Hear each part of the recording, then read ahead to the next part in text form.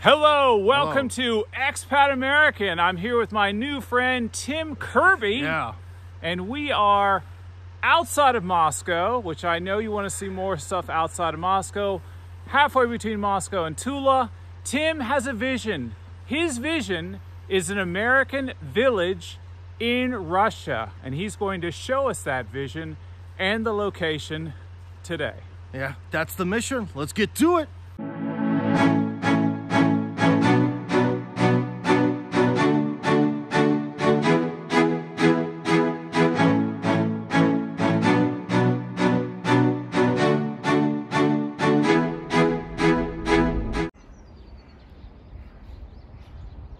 Is calendar spring in Moscow, Russia.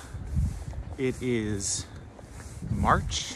It is morning, so the sun is up because the days are getting longer. And there's a giant snowfall, in my opinion, on everything. It's falling down right now.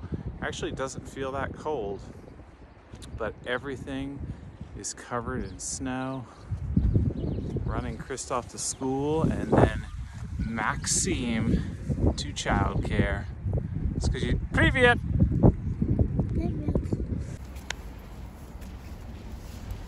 What's up, see you. Kirby? Good to Good to see see you. you, man. Good to see you. It's my cameraman. Oh, all right, see. Let's Already do it. started. All right, let's, yeah, let's do it.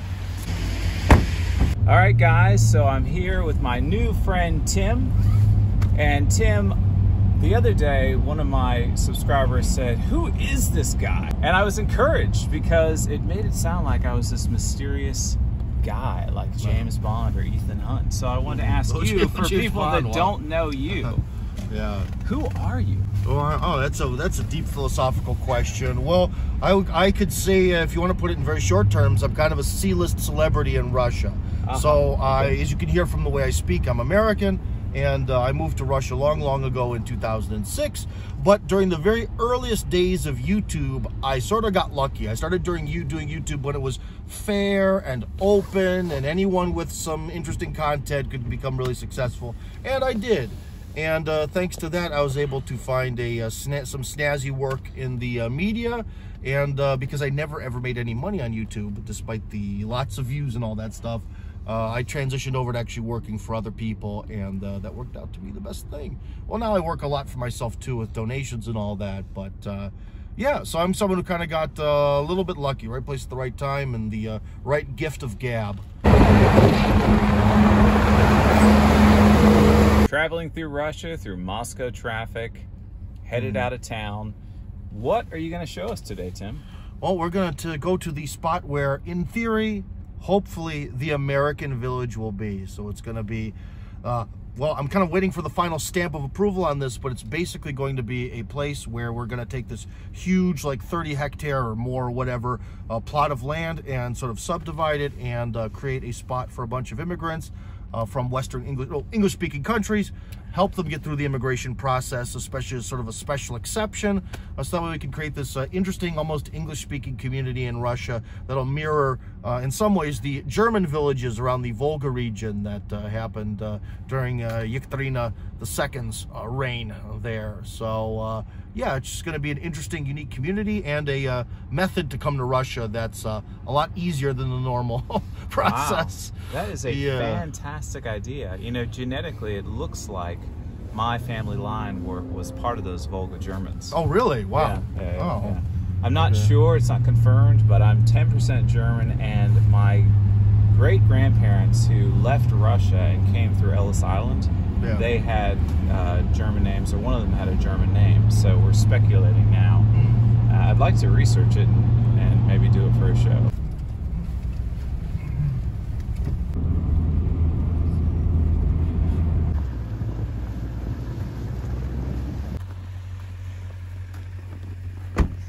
All right, we have come to the site of Tim Kirby's proposed American Village.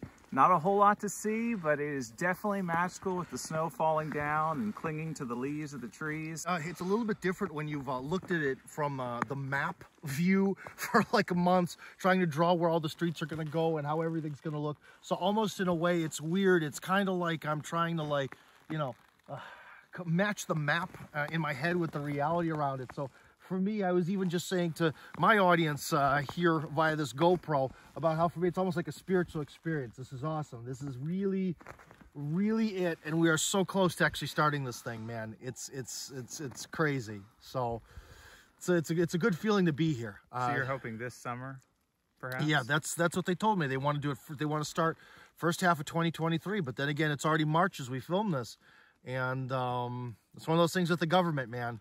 Well, well, but again, maybe one of your some of your viewers are curious why the government?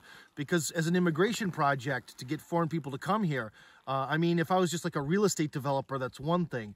But you know, you have to have a legal mechanism to to get into Russia to immigrate to here. You know, Right, right, right, right, and that's a big part of the project. So we can have around 200 families get through the immigration process uh, without uh, needing to be married to a Russian citizen or being born in the Soviet Union.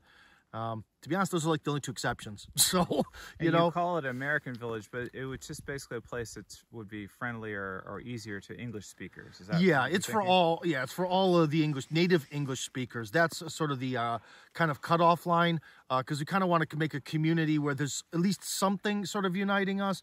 But again, it'd be kind of weird to do it only America. It just has the American Village thing because it sounds nice. That's one of those things where when you pitch an idea to a Russian bureaucrat, that kind of naming. Ooh, really? This American village in Russia? Where if it was called something like I don't know, speaking village in Russia, they'd be like, "This, this is stupid. We don't do this. This is dumb." you know. So it's a little bit of a marketing to a particular audience. Uh, yeah. All right. Well, let's So- see some of the other sites in this area that, that people All right. might want to know about if they were to come live here.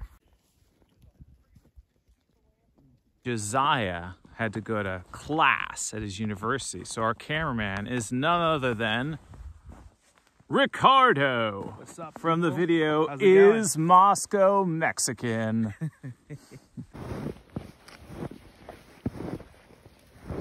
Tim is going to take us to a church nearby.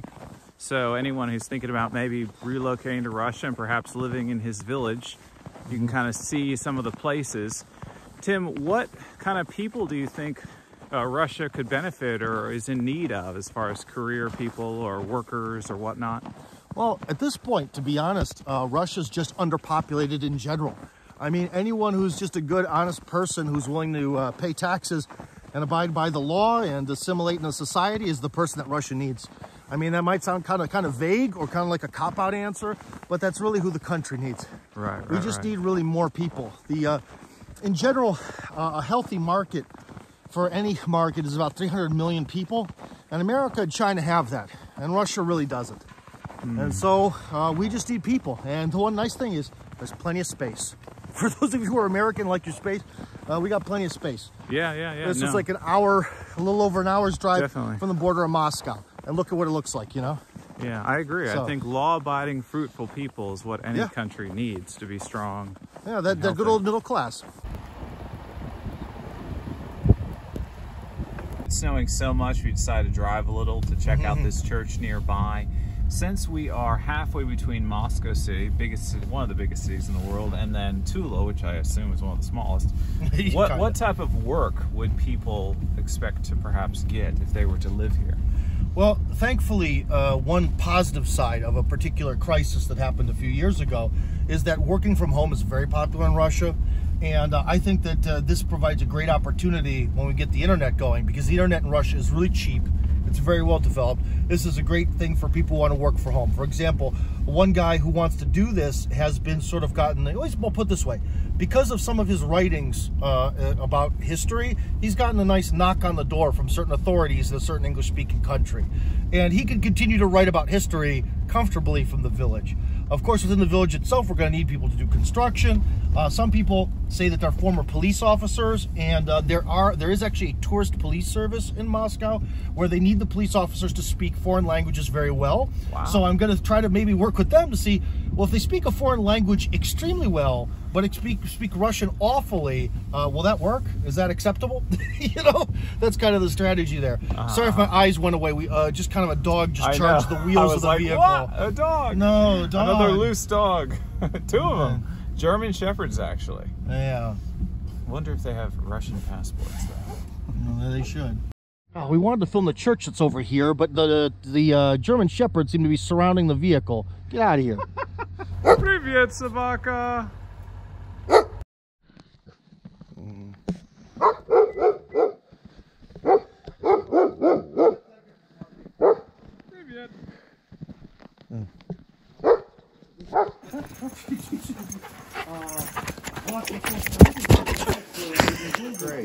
On the camera.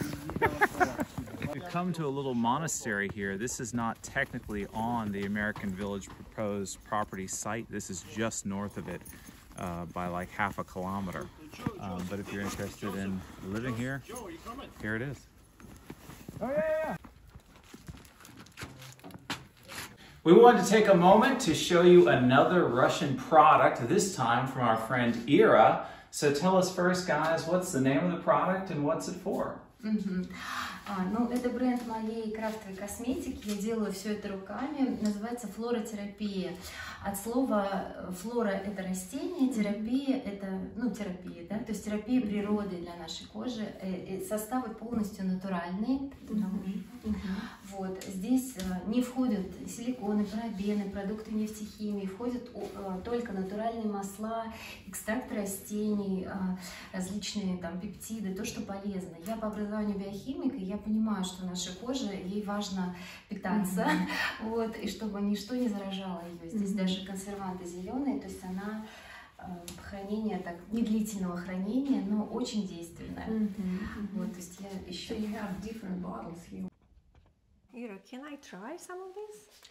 А, yes. Actually, see how it works? What would you recommend? М. Я рекомендую, наверное, попробовать сыворотку I антивозрастную. anti-age uh, serum. Эта сыворотка, она с натуральным маслом макадамии. Здесь а, масла, витамины, гиалуроновая кислота. Okay. It contains some oils, vitamins, um, hyaluron acid. Мгм. Maybe I pronounce it wrong, Да-да. but it's something healthy and natural. Yes. Она имеет антивозрастной эффект, то есть Yeah, it has an anti-aged effect on my face. антиоксидант, Should I open возрастной, it? да. Мгм. Наноси несколько капелек, хочешь на руку, можно на лицо сразу. Something. Мгм, Она запечатана сильнее. My power. Мгм, Набирай пипеточкой. И по массажным линиям можешь распределять на лоб, на elbow. посильнее ты прям выдавливай. Uh-huh. Вот. И давай флакончик и So по массажным линиям. nice. И потом можешь вбивающими Massage движениями. Like that. Feels good. Am I going to be young soon? Освежилась, увлажнилась. It's Прекрасно. moisturizing and fresh. Мгм. Здесь на лбу еще чуть-чуть. Мгм. Am I doing it correct? Мгм. Красивая. Thank you. Да, вот можно попробовать крем под глаза или просто увлажняющий. um, От морщин, eyes, да, здесь wrinkles, содержит пептид змеи, а, это он, яда змеи, то есть oh, разглаживает. the, um, she said it has um, some snake's poison, which is used for this. А, Я думаю, косметика эффективна, потому что я как химик разбираюсь в составах. I think my cosmetic is effective because um, uh, I am a biologist, uh, chemist, and I understand in cosmetics a lot in the ingredients. Так как кожа это тоже орган наш Our организма, skin is also a part of our body. она хочет кушать, питаться, It и wants to eat. Любое питание должно быть натуральным, потому что вы сами знаете, когда мы питаемся правильно или нет, какая. Any food should be natural because you know if we eat healthy food, we feel good. Да, то есть по факту мой крем можно кушать, Actually, my cream can be eaten потому что в составе натуральные масла, oils, коллаген, эластин, а, гидролаты растений, витамины, то есть это все полезно для нашего органа кожи. Также сейчас э, есть экотренд, как мы все знаем, и очень важна упаковка. Моя упаковка and стеклянная. for people, it's important uh, what type of container it is. And my containers are made glass. Мгм. Я за качество герме- герметичности тоже отвечаю каждого I'm компонента. also responsible for the quality of this package. А, И также герметик. консерванты. Моя косметика не длительного хранения. My cosmetics, you, you, you can, it's not a long um, term uh, use, so you can only use it for six months С небольшим количеством консервантов. with a small amount of uh, preservatives. Well, thanks so much, Ira, for making my wife look even more beautiful. Thank you. I love your wife. Thank you very much. So Tim and I got to go into that monastery and we just had coffee with monks. Maybe that could be a future episode. Yeah, coffee. Uh, and to be honest, we actually did talk to him about that. That may be coming back because the one monk, because he used to work at the, uh, you know, the Atomic Energy Agency. Uh, he made a big life shift. Um, well, he spoke pretty good English, and uh, Yeah. he got really into the sort of the philosophy and ideas about how Russia's changing, how things are working, and it was really nice. Um, uh, I'll tell you one thing is uh, whether you're religious or not, you should really have the ch- take the chance to maybe talk to someone from the church, not to convert, but they're really fascinating. You you never meet in Russia a dumb Orthodox priest. I'll put it that way. They uh, Right, train them up real good. So Yeah, and you definitely want to, if you're moving here, you want to be open minded and considerate of the culture, you know, whether you consider yourself Christian or not. Yeah. Well, yeah, that's one thing about is assimilating because uh, one thing is someone was doing this American village, there's been a little bit of blowback from Russians of like, why are you bringing here people just one specific location? They're not going to assimilate. No, no, no. Well, assimilation's kind of part of it, you know? we can have a little English speaking enclave, but ultimately, uh, Russia's bigger than us and we have to sort of adapt to her rather than her uh, uh, adapting to us, which is a problem that a lot of immigrants have. So, or a lot of expats have. I'm glad you said that because I was actually thinking, you know, I'm from Florida, and in Yeah. Florida, we have a lot of Spanish speaking people in the very south. And it's grown so much that Spanish is the dominant language in Yeah. parts of the south. And there are Americans and Floridians that say, no, no, no, you need to speak English here. Oh, yeah. So are there critics of your project that say, what, what? You want Americans to come here and have their own city?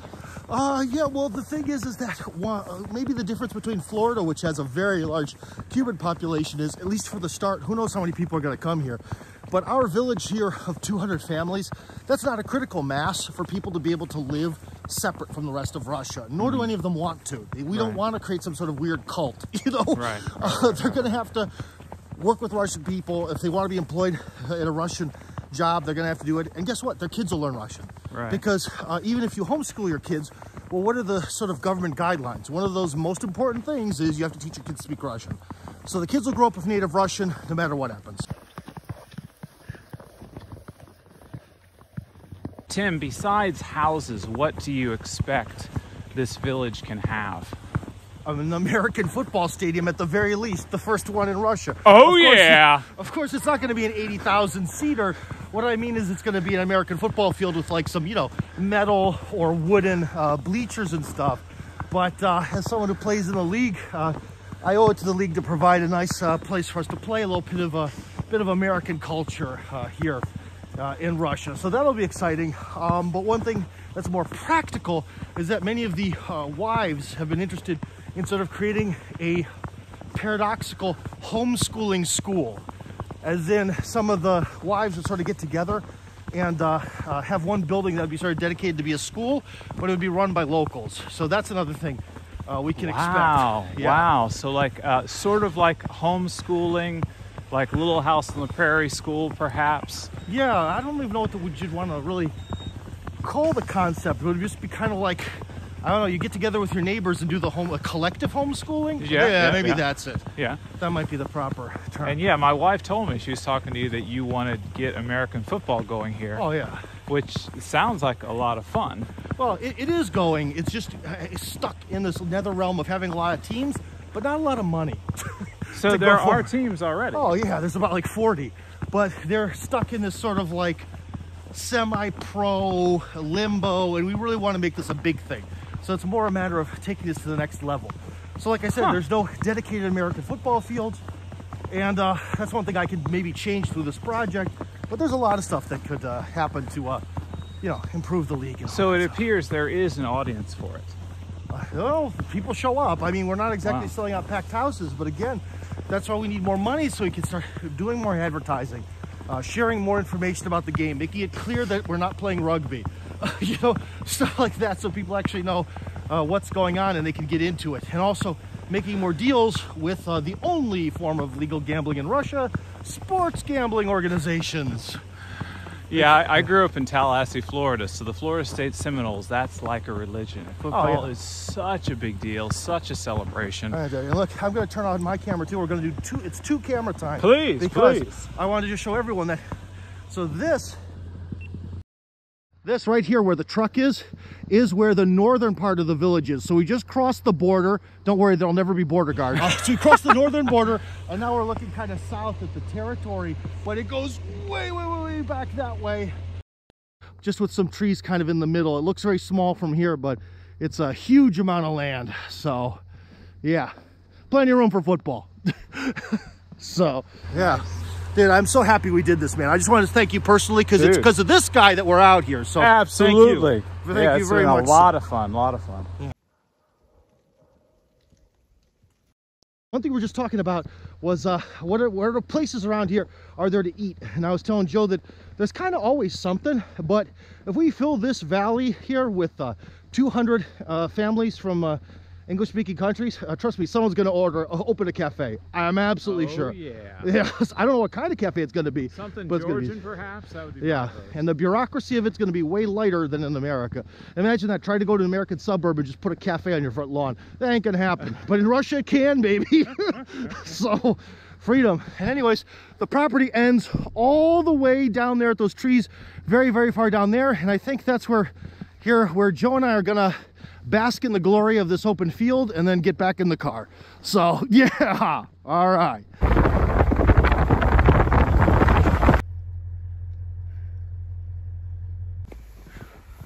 So we have come to a church in the area. This is not on the property that Tim is proposing. This is Yeah. in the area. So if you're curious what's it like in this part of Russia near Yeah. the village, here's a church.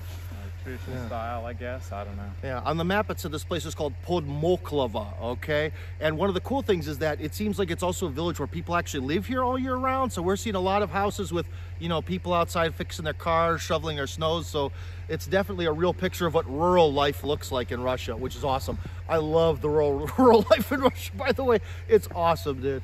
Except for if you need like maybe spinal surgery. Then the city's good. Other than that, eh, you don't need it. so. I was thinking, Tim, if you're single and if let's say you're in your mid 20s and you're graduating from the university and you like the idea of Russia, would it be a good place to come to? Well, yeah, because the one thing is, if you're in your 20s, the one thing you do is you have a lot of um, energy, right? And the thing is, like, as someone who did, the, I bought my first house for $15,000, no heat, no uh, water. There was electricity, but it was done badly, so it had to be completely redone. And with the help of some locals and my own, uh, the sweat of uh, my brow and a lot of YouTube videos, I turned it into a house where you can live all year round, okay? Wow. So if you're in your 20s and you're just starting your life and you're part of that American generation, or I should say American Western generation, where it's like you don't really see much prospects for yourself, like I did when I was 20, you know, when I was working 40 hours a week just to be able to buy hamburgers to survive till the next check, you know, the paycheck. This is a good option for you because as soon as you get kind of far away from Moscow, the prices drop and you can buy something here that'll be yours and fix it up and make it just as nice as some of the houses are around here. In fact, I think maybe later we should uh, uh, have a cameraman Ricardo here. Uh, maybe take a little bit of a stroll down this street because there are some nice Oh, new yeah, houses yeah, here. yeah, yeah. And that's all stuff you can do yourself. If you can build a stick frame home in America, although it's better to do a block home in Russia, but stick frame homes are okay. If you could do a stick frame home in America by yourself, which in theory you can, you could do one here. Also, guys, don't forget, I'm to put a link in the show notes and on the screen. Go to Tim's channel and Yes. subscribe. Tim Kirby's Travels, but on Rumble it's called RTTT still. The old name on Rumble, new name on YouTube. So, yeah, you'll find it, subscribe, and help me out here. So, Definitely.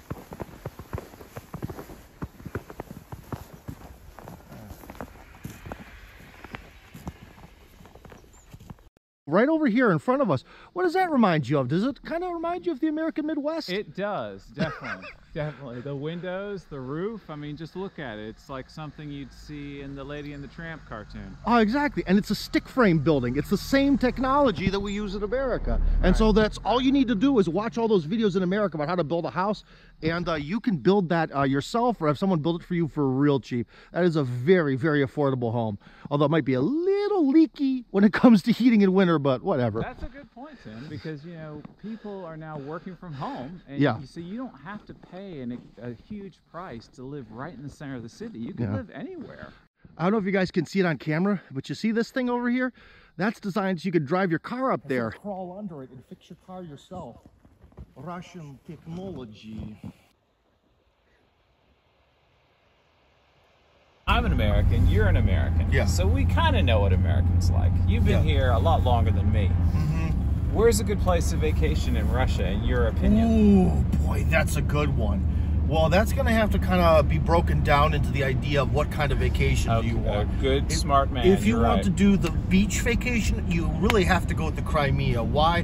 Because like uh, the water around um, Sochi is okay, but it tends to get a lot of algae. And um, I've known people who've taken vacations there, and they just kind of come out of the water green, you know, uh, algae mania, and that does not happen in the I mean, the Crimea. I say Krim the Russian way in the Crimea. So that's probably your best beach vacation spot. If you are talking about like a ski vacation, if you have a ton of money, Rosa Khutor in Sochi is number one in the country. I love Rosa Khutor. Yeah, It's but you got you got to pay for it. Uh, there are a lot of other options though. Maybe uh, well, you can do skiing on Sakhalin Island, and Sakhalin Island is weird and it's different, and all the food comes from like Korea, so it's weird Korean food. Everything about Sakhalin is just different. It's a very interesting experience. You should go there, and they have plenty of skiing. Uh, if you want to do the event, the thing where you're like, oh my god, dude, we're on a road trip. Whoa! We filmed on my channel, Tim Kirby's Travels, uh, the Chuisky Trakt Highway, which is a highway that goes from uh, around, I think, Barnaul, uh, all the way through all of the Altai region to the Mongolian border. We filmed it all, Wow. and that was awesome. And so much of the stuff we filmed was just drive, park the car, walk over there and look at it. It was very, very easy, very cool, great food. Uh, uh, of the vacation or the things we filmed, like a vacation I'd want to do myself, that one. Nice. Yeah, Yeah. For me, vacations are one of three things. It's vacation for sport, vacation for romance, or Mm. Yeah. vacation with kids. Well, vacation for romance, there are actually uh, a lot of like little, um, kind of almost like hotel complexes around Moscow where people can just sort of go and have a little bit of time with nature, do some swimming, have the romantic, you know, uh, meal afterwards with your wine and candles. There's a, that's actually very developed, especially around Moscow. But uh, if you're romantic like I am, there were plenty of uh, like little cabins you could rent or around along that path along the Chuisky Tract. So you could have your uh, freshly slaughtered goat that the locals prepare for you. Wow. And, uh, well, you know, but uh, you share the goat, you share the love. Wow. yeah.